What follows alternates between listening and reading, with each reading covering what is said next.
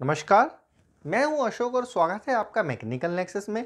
आज का हमारा टॉपिक है वेल्डिंग प्रोसेस के बारे में, कि वेल्डिंग के डिफरेंट काइंड के प्रोसेस कौन कौन से होते हैं, यानी वेल्डिंग को ब्रॉडली कितने पार्ट्स में क्लासीफाई किया गया तो चलिए शुरू करते हैं और सबसे पहले हम बात करते हैं वेल्डिंग की, कि वेल्डिंग क्या होती है।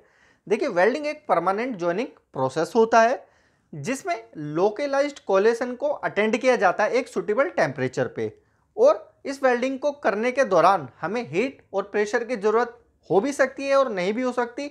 सेम इसी तरह फिलर मटेरियल की भी आवश्यकता हो सकती है और नहीं भी हो सकती। तो चलिए, अब हम इसको क्लासीफाई करते हैं वेल्डिंग प्रोसेस को। देखिए वेल्डिंग प्रोसेस को मेनली तीन पार्ट्स में क्लासीफाई किया गया है। मैं यहाँ पर इसका चार्ट बना देता हूँ।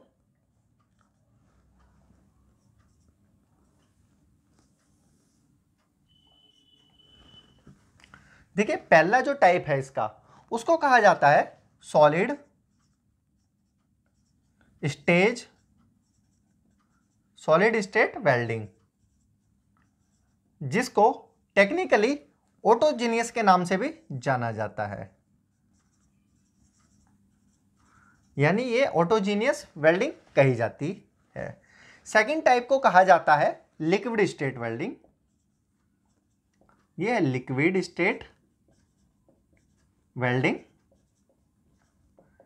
जिसको हम होमोजीनियस वेल्डिंग के नाम से भी जानते हैं।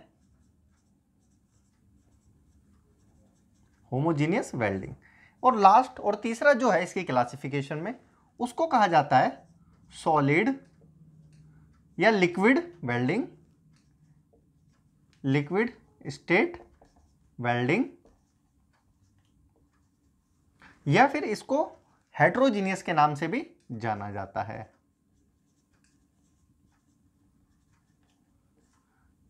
हमारी जो वेल्डिंग है, वो ब्रॉडली इन तीन टाइप्स में ही क्लासीफाई की गई है। इन तीन टाइप्स के ही फर्दर क्लासिफिकेशन है, जिसको हम वेल्डिंग क्लासिफिकेशन के नाम से भी जानते हैं। चलिए हम बात कर लेते हैं सॉलिड स्टेट वेल्डिंग क्या होती है, जिसको ऑटोजीनियस वेल्डिंग के नाम से भी जाना जाता है। देखिए ऑटोजीनियस वेल्डिंग उन वेल्डिंगों को कहा जाता है जिसमें हमें वेल्डिंग करने के लिए किसी भी एडिशनल फिलर मटेरियल की आवश्यकता नहीं होती। यानी यहाँ पे वेल्डिंग कैसे परफॉर्म करेंगे? या तो यहाँ पे हीट का यूज़ करेंगे या फिर प्रेशर का यूज़ करेंगे। यानी कि अगर हम बात करें, मुझे दो पेरेंट मेटल को जोड़ना है। ये मेरा पेरेंट मेटल ए है और ये मैं मान लेता हूँ, ये मेरा बी है। ये दोनों सेम मटेरियल है। अब मेरे को इसको वेल्ड करना है। एक तो इसमें हम किसी भी फिलर मटेरियल का यूज़ नहीं कर सकते। यानी यहाँ पे हमारा फिलर मटेरियल यूज़ नहीं होगा। यूज्ड नॉट ओके अब देखिए, अब हमें इसे वेल्डिंग करनी है। तो इसको वेल्डिंग करने के लिए जो प्रोसेसर है, उसको कैसे करेंगे? या तो इसका जो एज है, ये जो इसका एज है, इसको हम हीट देंगे। इतनी हीट देंगे कि ये दोनों आपस में मेल्ट हो जाए और उसके बाद हम यहाँ पर अपोजिट डायरेक्शन में प्रेशर अप्लाई करेंगे। ये प्रेशर क्या करेगा? इन दोनों वेल्ड को ज्वाइंट कर देगा। तो इस तरह से जो हमारी वेल्डिंग होती है, उसको ऑटोजीनियस वेल्डिंग यानी सॉलिड स्टेट वेल्डिंग कहा जाता है। यहाँ पे सॉलिड स्टेट वेल्डिंग कहने का रीज़न यही है कि यहाँ पे हमारा फ्यूज़न नहीं होता। यानी यहाँ पे हम एक्सटर्नल हीट का यूज़ करके फ्यूज नहीं करते। जो हीट डेवलप होती है, वो विद इन मेटल डेवलप होती है। विद इन मेटल कॉन्टैक्ट के थ्रू प्रेशर के थ्रू फ्रिक्शन के थ्रू या कोई भी अदर मोड हो सकता है। चलिए, इसके एडवांटेज की बात कर लेते हैं। सबसे अच्छी एडवांटेज सॉलिड स्टेट वेल्डिंग की वो ये होती है कि इसमें हमें फिलर मटेरियल का यूज़ नहीं करना होता। अगर हम यहाँ पे फिलर मटेरियल का यूज़ नहीं करेंगे तो हमारी बहुत सारी कॉस्ट बढ़ती है वेल्डिंग की। उसके बाद वेल्डिंग होने के बाद जो हमारा यहाँ पे, मान लीजिए यहाँ पे हमारा फिलर मटेरियल नहीं है। अगर फिलर मटेरियल होता तो यहाँ पे कुछ इस तरह की उभरी हुई शेप आती। इस शेप को रेनफोर्समेंट कहते हैं। अब क्या होता है कि उसके बाद हमें यहाँ पे ग्राइंडिंग भी करनी पड़ती है, इसको स्मूथ करने के लिए। तो यहाँ पे हमारी ग्राइंडिंग की कॉस्ट भी बच रही है। तो यहाँ पे ये इसके प्रमुख एडवांटेजेस है। इसका मगर डिसएडवांटेजेस भी है। जैसे कि यहाँ पे जो हमारी वेल्डिंग होती है, वो कैसी होती है? वो थिन शीट्स में होती है। यानी यहाँ पे जो वेल्डिंग हो रही है, वो पतली, यानी थिन शीट्स की करते हैं। जिनकी रेंज ऑलमोस्ट ऑलमोस्ट दो एम mm और तीन एम mm भी हो सकती है। चलिए, अब बात कर लेते हैं हम इसकी दूसरी एडवांटेजेस की सॉरी डिसएडवांटेजेस की। दूसरी ये है कि यहाँ पे जो हम वेल्ड करते हैं, उसकी पोजीशन लिमिटेड है। जैसे कि अगर हमें यहाँ पे वेल्ड करना है तो या तो हम यहाँ पे बट वेल्ड ही कर सकते हैं, या फिर ज़्यादा से ज़्यादा एक दूसरे के ऊपर जब ये ओवरलैप हो जाते हैं तो उसको लैप कहा जाता है। यहाँ पे लैप वेल्डिंग तो यहाँ पे लैप वेल्डिंग कर सकते हैं। ये था दोस्तों ऑटोजीनियस वेल्डिंग के बारे में। चलिए अब हम आते हैं लिक्विड स्टेज वेल्डिंग के बारे में। लिक्विड स्टेज वेल्डिंग को होमोजीनियस वेल्डिंग के नाम से भी जाना जाता है। ये होती क्या है?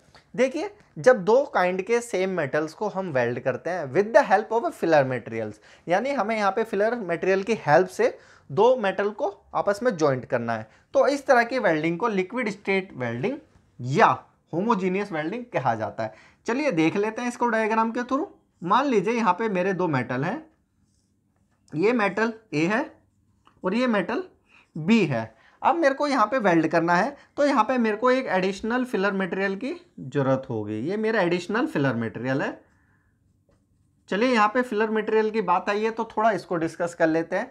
एक तो ये है कि फिलर मटेरियल का जो मेन कंपोजिशन होती है, यानी केमिकल कंपोजिशन होती है। Chemical composition of filler material chemical composition of filler material of filler वो हमेशा ऑलमोस्ट ऑलमोस्ट सेम होती है हमारे पेरेंट मटेरियल या इन्हें बेस मटेरियल भी कहा जाता है। मैं यहाँ पे लिख देता हूँ, इनको पेरेंट मटेरियल भी कहा जाता है, या फिर इनको बेस मटेरियल के नाम से भी जाना जाता है। तो फिलर मटेरियल की जो केमिकल कंपोजिशन है, वो इन दोनों मटेरियल यानी ये तो ऑलमोस्ट सेम मटेरियल है, इनकी कंपोजिशन के ऑलमोस्ट ऑलमोस्ट सेम होनी चाहिए। इस तरह से जो वेल्डिंग परफॉर्म होती है उसको लिक्विड स्टेज वेल्डिंग यानी होमोजीनियस वेल्डिंग कहा जाता है। दूसरा, ये फिलर मटेरियल का मेल्टिंग पॉइंट जो होता है, वो इस बेस मटेरियल के मेल्टिंग पॉइंट से हमेशा कम रहता है। उसका रीज़न क्या होता है? अगर इसका बेस मटेरियल का मेल्टिंग पॉइंट हम सेम कर देंगे फिलर मटेरियल के तो वेल्डिंग नहीं हो पाएगी, क्योंकि यहाँ पे जो हमारा मेटल है, वो पूरा फ्यूज्ड हो जाएगा। अब देखिए, यहाँ पे फ्यूज़न का यूज़ होता है। याद रखना, ये है फ्यूज़न का यूज़ तो इसलिए होमोजीनियस वेल्डिंग को फ्यूज़न वेल्डिंग के नाम से भी जाना जाता है, यानी इसको हम फ्यूज़न वेल्डिंग भी कहते हैं।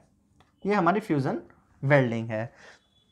तीसरा, ये जो फिलर मटेरियल यूज़ होता है, ये दो टाइप का हो सकता है। एक तो कंज्यूमेबल हो सकता है। कंज्यूमेबल का मतलब है कि यहाँ पे जब वेल्डिंग कर रहे हैं तो ये हमारा मेल्ट होके इसके ऊपर पूरा का पूरा फिल हो जाए और इसके गैप में चला जाए कुछ इस तरह से। दूसरा होता है ये नॉन कंज्यूमेबल यानी यहाँ पे इसका जो यूज़ है वो हीट डेवलप करने के लिए किया जाता है। कुछ एडिशनल फिलर मटेरियल यूज़ नहीं करते। वहाँ पे हम एक अदर्स अदर मटेरियल का यूज़ करते हैं बट वो as a filler material count नहीं होता। तो इस टाइप का जो फिलर मटेरियल होता है, दूसरा वो नॉन कंज्यूमेबल टाइप का होता है। तो इस तरह की वेल्डिंग जो होती है, जिसमें फ्यूज़न डेवलप होता है, यहाँ पे एज में, और इसको फिल करा जाता है with the help of a filler material इस वेल्डिंग को कहते हैं लिक्विड स्टेट वेल्डिंग या फ्यूज़न वेल्डिंग और इसे होमोजीनियस वेल्डिंग के नाम से भी जाना जाता है। इसकी एडवांटेज क्या होती है कि यहाँ पे हम थिकनेस जो हमारी शीट की होती है वो बड़ी शीटों में कर सकते हैं ईजिली यहाँ पे जुड़ने वाली जो पोजीशन है वो डिफरेंट काइंड की हो सकती है। यानी यहाँ पे हम T joint L joint corner joint edge joint और भी बहुत टाइप के शेप हैं जिसको हम लिक्विड स्टेज वेल्डिंग यानी फ्यूज़न वेल्डिंग की हेल्प से परफॉर्म कर सकते हैं। मगर यहाँ पे डिसएडवांटेज ये हो जाती है कि यहाँ पे हमारा एडिशनल फिलर मटेरियल यूज़ हो रहा है। इसकी कॉस्ट बढ़ रही है और साथ के साथ उसके बाद हमारे यहाँ पे जो मशीनिंग प्रोसेस होंगे, उसकी भी कॉस्ट बढ़ती है। मगर यहाँ पे कॉस्ट बढ़ रही है, मगर यहाँ पे जो जॉइंट क्रिएट होता है, वो बहुत स्ट्रॉन्ग होता है as compare to solid state यानी हेट्रोजीनियस और ऑटोजीनियस के कंपेरिजन में।